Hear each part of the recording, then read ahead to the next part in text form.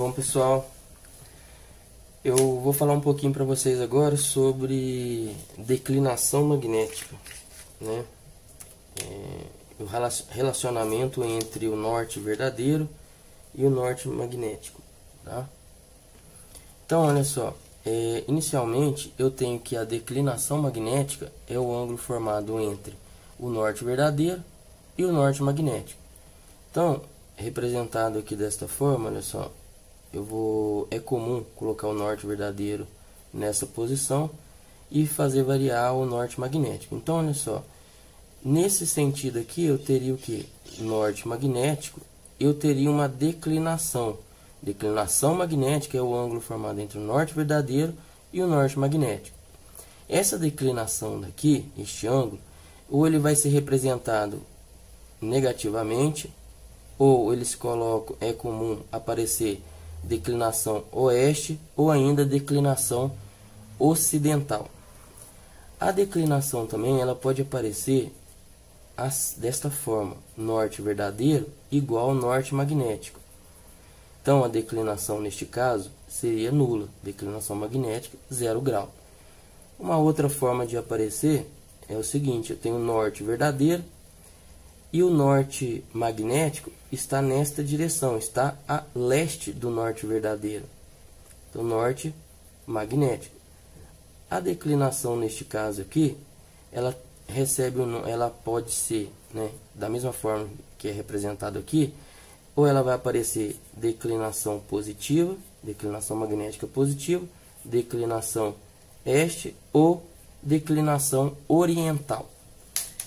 Bom, é, sabendo disso, né, eu tenho que é, se eu representar, como que eu vou, poderia, por exemplo, estabelecer um modelo matemático que relacione o norte magnético e o norte verdadeiro? É, vou passar aqui, por exemplo, olha só. Se eu tiver o norte verdadeiro, né? O norte de um alinhamento, olha só, vou pegar aqui um alinhamento 1, 2. Alinhamento 1, 2. Vamos supor que o norte magnético esteja a oeste do norte verdadeiro e a declinação seja negativa, olha só. Então, eu teria o norte verdadeiro desculpa, norte magnético, norte verdadeiro. Então a declinação magnética seria esta. Como que eu representaria aqui os azimutes? Ó? Representando um azimute magnético, tá? Vou puxar aqui, vou chamar azimute magnético, mag, do alinhamento 1, 2.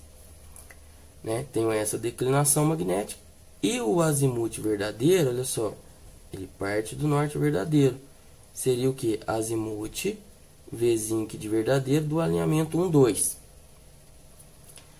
Então, daqui eu tenho que azimuth, olha só geometricamente, azimuth verdadeiro do alinhamento 1, 2 seria igual ao que? Olha só, azimuth magnético menos a declinação. Só que essa declinação aqui ela é negativa. Você obtém ela, o valor dela é negativo. Então, azimuth verdadeiro de 1 para 2 vai ser igual a azimuth magnético de 1 para 2 mais a declinação magnética. Por quê? Este sinal aqui, quando a gente determina a, o valor da declinação magnética, ele vem negativo, ou oeste.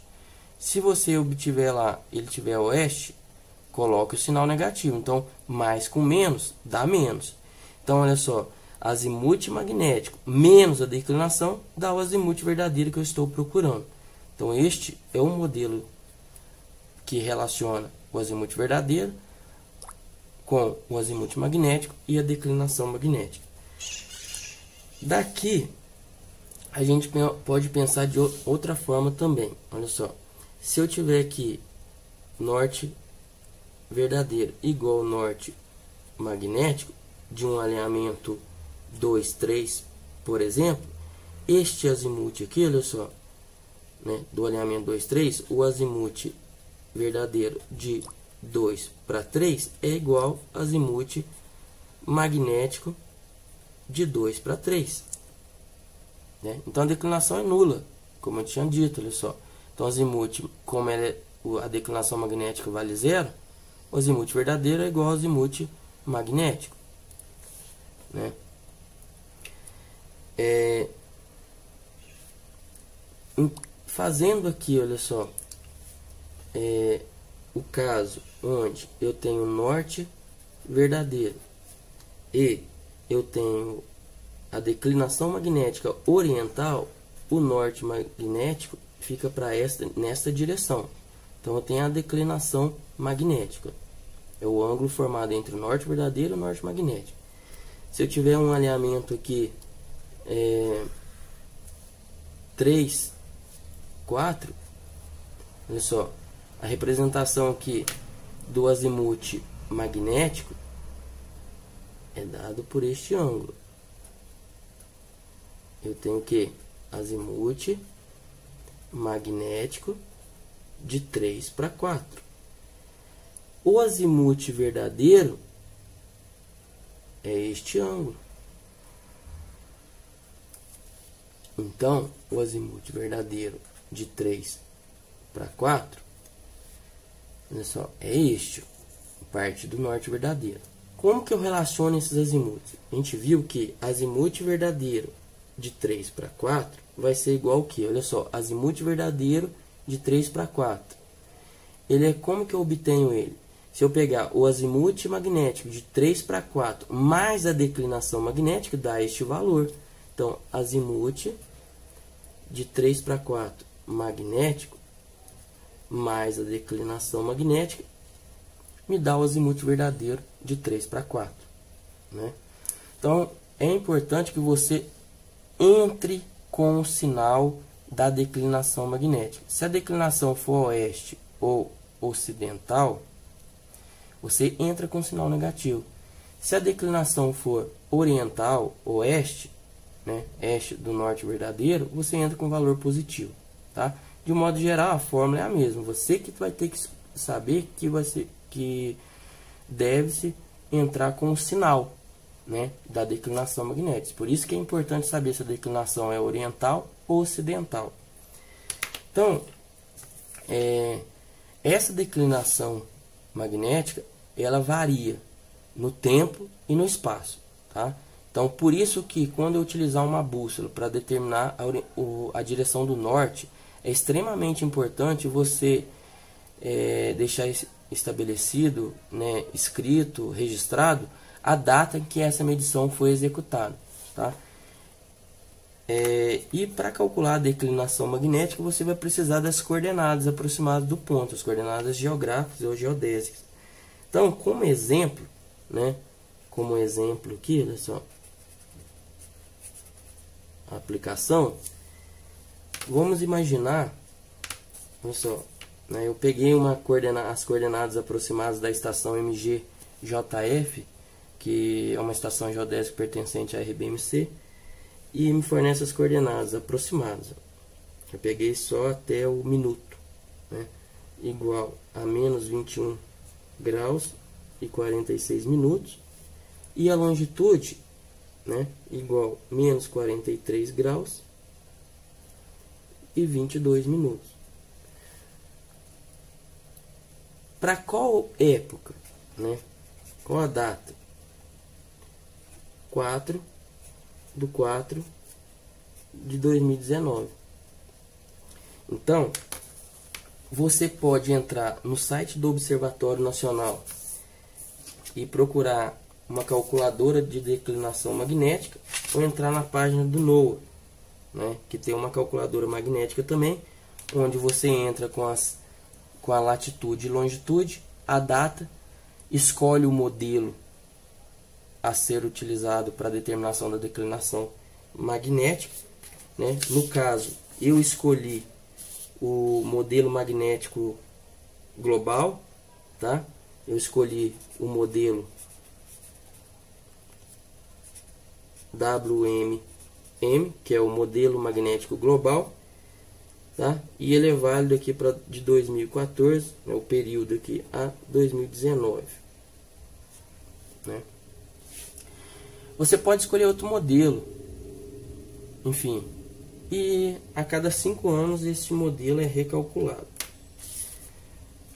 Então, é, é, até um tempo atrás, as pessoas utilizavam, né, continuavam a utilizar, utilizavam, na verdade, a, a, a posição, latitude e longitude, utilizavam a carta magnética, no caso, no Brasil, a carta magnética, e utilizavam das linhas isogônicas para determinação da declinação magnética e das linhas isopóricas para determinação da variação anual da declinação né?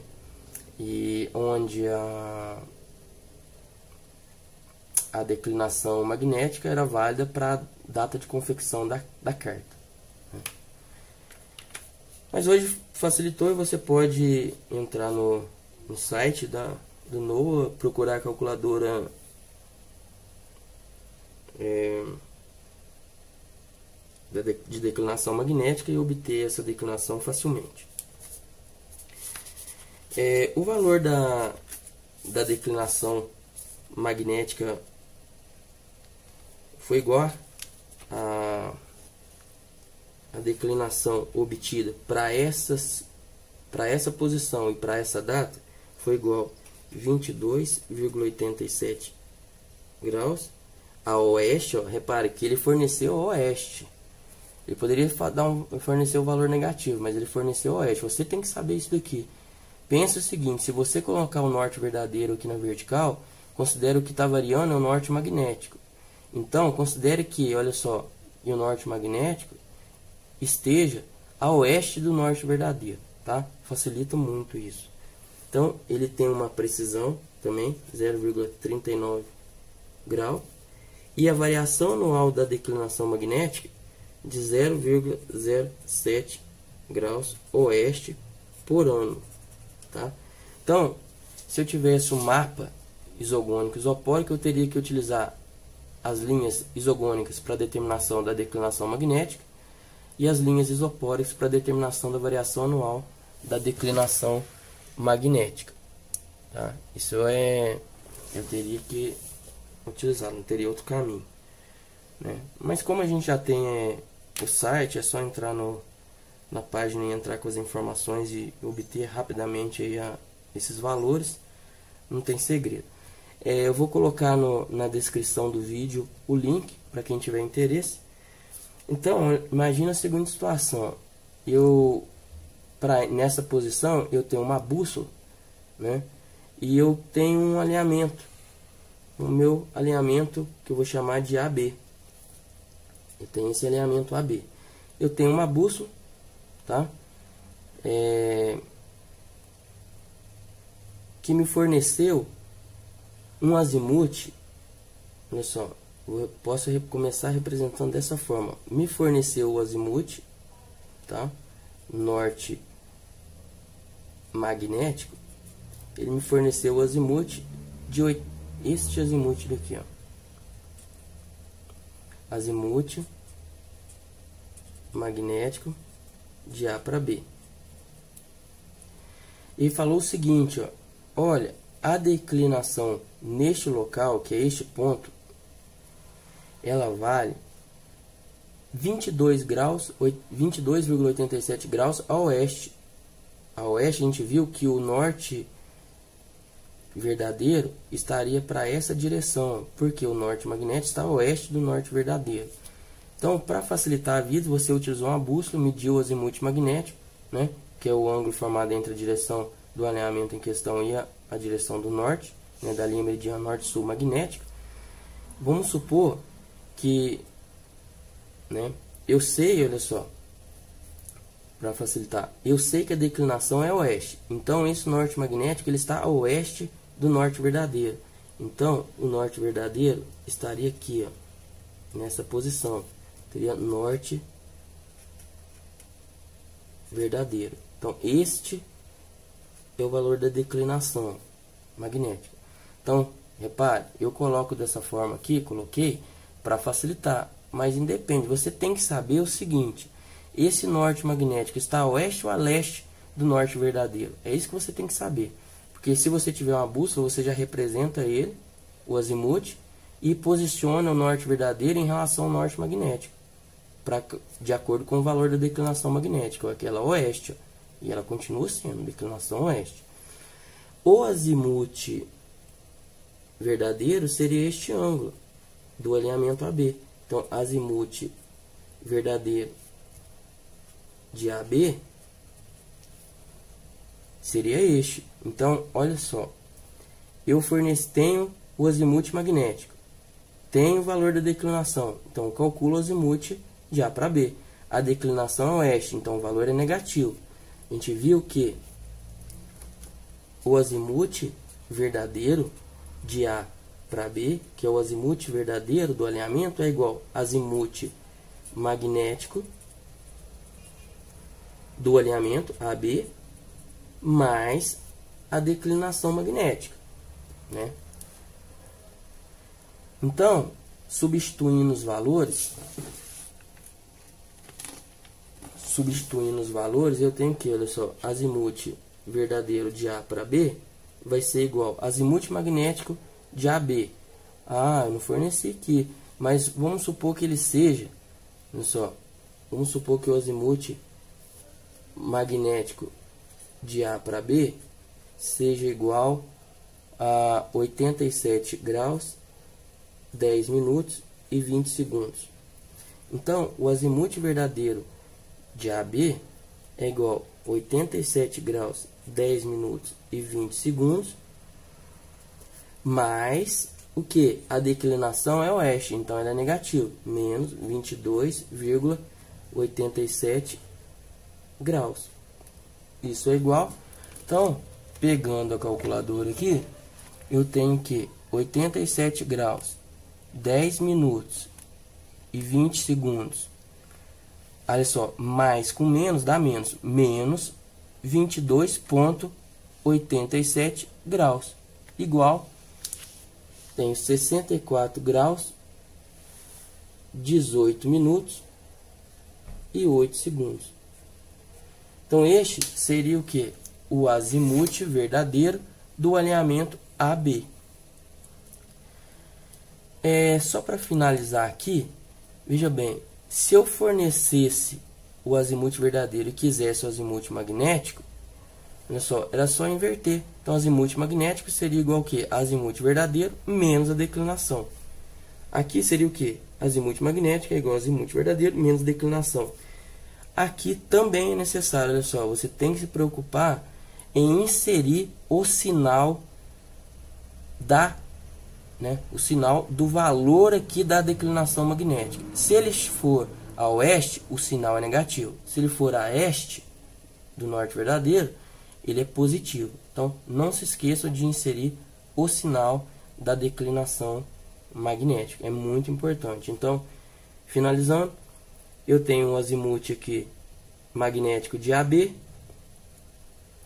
a declinação magnética, né, que é o ângulo formado entre o norte verdadeiro e o norte magnético, e eu calculo o azimuth verdadeiro do alinhamento AB, que é o que? Olha só, azimuth verdadeiro de AB é igual a azimuth magnético, que é esse pedaço daqui, menos este pedaço, me fornece este valor, que é o azimuth de AB, azimuth verdadeiro de AB.